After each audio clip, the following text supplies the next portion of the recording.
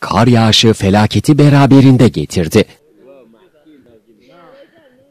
Hakkari Yüksekova'da çöken ahır dört hayvanı telef etti.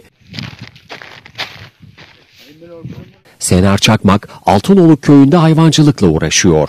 Köyde bir süredir etkili olan kar nedeniyle günlük hayat olumsuz etkilendi.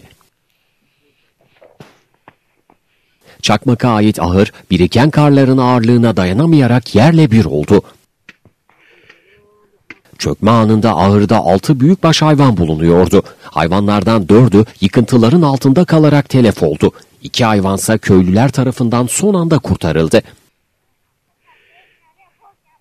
Senar Çakmak'ın Denizli'de işçi olarak çalıştığını belirten komşuları tek geçim kaynakları olan hayvanlarınsa telef olduğunu belirtti.